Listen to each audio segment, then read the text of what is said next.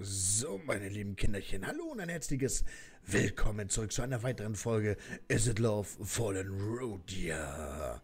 So, wir waren am ähm, Haus am See. Ne? Das ist schon lange her, wo wir aufgenommen haben.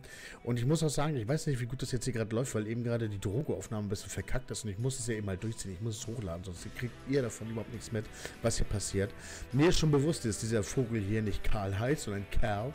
Aber ähm, ich nenne ihn Karl, weil er sieht aus wie ein Karl. Alter, guck, die Frisur, der sieht aus, als hätte er eine Perücke auf. So eine richtig schlecht gemachte Perücke. Guck mal, hier unten hat er braune Haare. Hier und dann setzt er sich dann, weil er hier eine Halbglatze hat, setzt er sich dann hier diese Dieter Bohlen-Perücke auf. So, fertig. Er ist eigentlich Thomas Anders mit Dieter Bohlen vermischt, quasi. Hier fehlt nur die Goldkette Nora drauf. Stellt euch mal vor, jetzt hier diese, diese Goldkette und Nora. Wäre witzig. So, diese Substanz, mit der du bedeckt warst, mag arglos unbekannt sein. Aber jeder Beschützer wäre dir dankbar gewesen. Ich mache kurz auf, denn er, denn er irrt sich. Jeder Beschützer? Das glaube ich kaum, denn Jeff lacht mich aus. Du hast ihn gesehen, richtig? Er kichert im Chor mit den anderen Kunden in Jacks Bar. Jeff? Jeff da? Interessant. Ich habe ihn ja gar nicht bemerkt, siehst du? Das ist ein Detail, das du mir vielleicht verbergen könntest. Nicht schlecht für den ersten Versuch. Karl scheint, ne, Karl, Karl. Karl scheint stolz auf mich zu sein.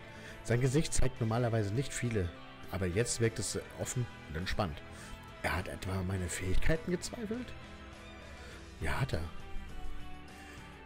Karl hatte noch nie wirklich die Gelegenheit, meine Kräfte einzuschätzen. Es ist also nicht verwunderlich, dass er gewisse Zweifel an ihn hegt. Wie dem auch sei, ich will mich schließlich von ihm ausblenden lassen bilden lassen, um mich zu verbessern, um mich irgendwann selbst zu übertreffen. Ja. Karl, du bist bereut, das Experiment noch einmal zu versuchen? Ich stimme zu und bin entschlossen, mich mit meinem zweiten Versuch besser zu schlagen. Sehr gut. Ich bewundere deine Entschlossenheit in deinem Blick. Wir müssen gar nichts mehr sagen, er weiß es in unserem Blick natürlich. Ich gebe dir einen Tipp. Wenn du eindringlich in deinen Geist abwehren willst, ist es besser, einen mentalen Schutzwall zu bauen. Das ist nicht leicht und man muss sehr, sehr schnell tun. Anfangs wird es dich noch viel Zeug kosten. Aber das ist deine einzige Chance gegen stärkere Feinde. Wenn deine Gegner hingegen schwächer ist, solltest du parapsychologischen Schrei ausreichen, um ihn zu verträumen. Das ist einfacher, aber nicht so effektiv und dauert wie ein Schutzwall. Ich frage mich, was ein parapsychologischer Schrei ist. Was möchtest du zuerst trainieren? Den parapsychologischen Schrei. Damit wir wissen, was es ist. Karl stimmt meiner, Wahl, äh, stimmt meiner Wahl zu. Mit der leichten Option zu Beginn. Er sagt mir, dass ich meine Augen schließen und seiner Anweisung folgen soll.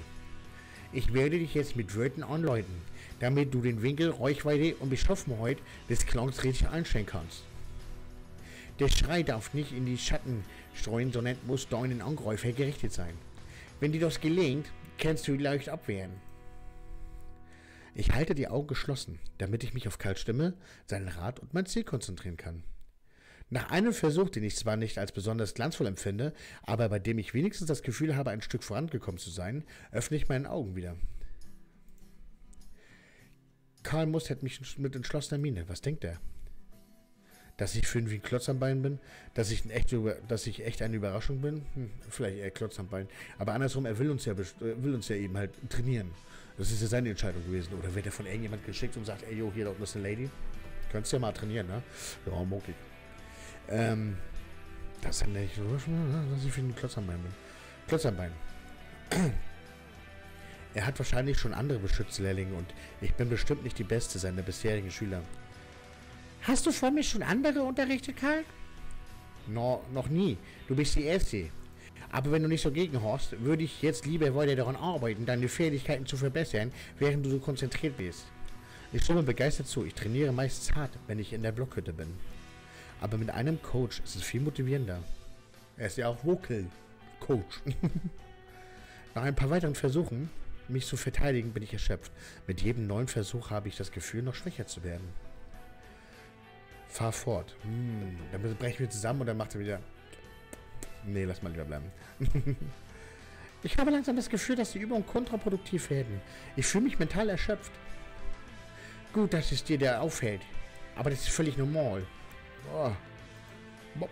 Diese Ortsverteidigung verbraucht sehr viel Energie. Aber der Schlüssel zu deiner weiteren Entwicklung liegt darin, deine eigenen Grenzen zu kennen. Karl drückt sich manchmal aus wie ein weiser alter Samurai in einem Film. Ja, Meister, es ist lustig. Und wir müssen jetzt ähm, Karten legen.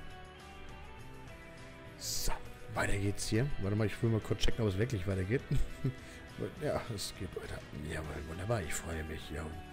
Ich bin manchmal, ich bin zwar mental erschöpft, aber sein veraltes, formelhaftes Lebenweisheit bringt mich zum Lachen.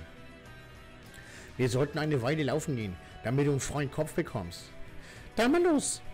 Kurz darauf finden Kerl und ich uns auf, den, auf der Waldstraße wieder. Wir joggen in einem fortwährenden, regelmäßigen Tempo. Es tut mir gut, auf den Asphalt durch den Wald zu laufen. Besonders nach all den Parapsychologen ist schon anstrengend von heute Morgen. Mein Körper scheint sich von all dieser Arbeit, die mein Geist geleistet hat, gut zu erholen. Normalerweise sind die beiden miteinander verbunden. Das Training ist ziemlich intensiv. Hast du es auch schon mal durchgemacht, als du Beschützerlehrling warst? Wenn ich mich beim Joggen, wenn ich beim Joggen rede, gerate ich immer wieder ein wenig außer Atem. Aber ich möchte mehr über meinen ungewöhnlichen Coach erfahren. Schöne. Ich würde auch in meinem Hemd joggen gehen. Ne? Ich dachte jetzt nicht weg, diesen Jogginganzüge, Trainingsanzüge und hier echt so. Aber er kann es vergessen, ne? Karl sieht mich an, läuft an mir vorbei, dreht sich um und trabt rückwärts vor mir auf der Straße hinauf. Er ist kein bisschen außer Atem. Ist der Kerl eine Maschine oder was?